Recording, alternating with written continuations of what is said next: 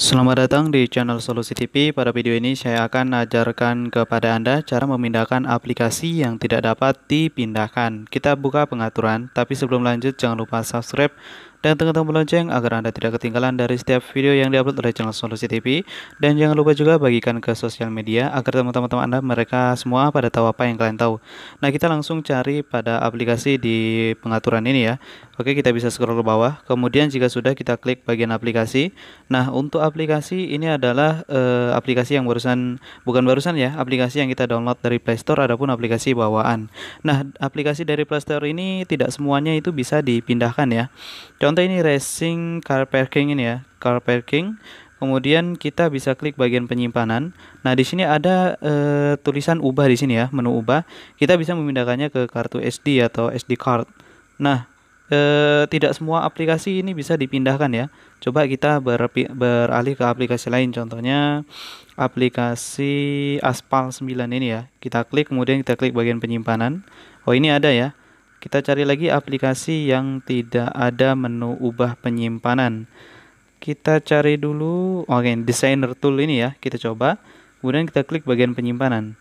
Nah, di sini nggak ada tulisan ubah ya, adanya aplikasi, data, memori, dan ini kalau diklik nggak bisa, ini hanya informasi. Aplikasinya 2,38 MB, kemudian datanya 1,02 byte, kemudian memorinya 94,21 GB dan totalnya 3,49 MB. Nah, bagaimana teman-teman untuk agar aplikasi ini bisa dipindahkan ke SD card? Caranya gampang, kita bisa kembali terlebih dahulu, kembali lagi. Setelah itu Anda bisa scroll ke bawah seperti ini. Klik bagian tentang ponsel, kemudian kita klik bagian informasi perangkat lunak. Selanjutnya, kita klik bagian nomor versi sebanyak 7 kali. Kita langsung klik 1, 2, 3, 4, 5, 6, 7. Selanjutnya kita masukkan kata sandi yang kita gunakan di uh, uh, pengamanan ponsel kita pada saat layar mati dan dihidupkan kembali. Selanjutnya jika sudah, kita bisa kembali, kembali lagi, kemudian Anda bisa geser ke bawah. Nah, pilihan pengembang ini akan tampil kalau kita sudah mengeklik nomor versi sebanyak dua kali di bagian tentang ponsel ini. Nah, kita klik bagian pilihan pengembang. Kemudian, jika Anda sudah klik bagian pilihan pengembang, anda bisa geser ke bawah, geser lagi, kita cari uh, mana ya? Paksa pindahkan aplikasi. Kita cari lagi, kita geser ke bawah, kemudian hmm, kita geser sebentar teman-teman, agak lupa saya tempatnya. Nah, eh, masukkan tampilkan tata letak ETL pada tata kemudian kita geser terus sampai ketemu ya. Ini banyak sekali. Nah ini di bagian aplikasi. Nah kita klik bagian uh, mana ya? Tunggu teman-teman.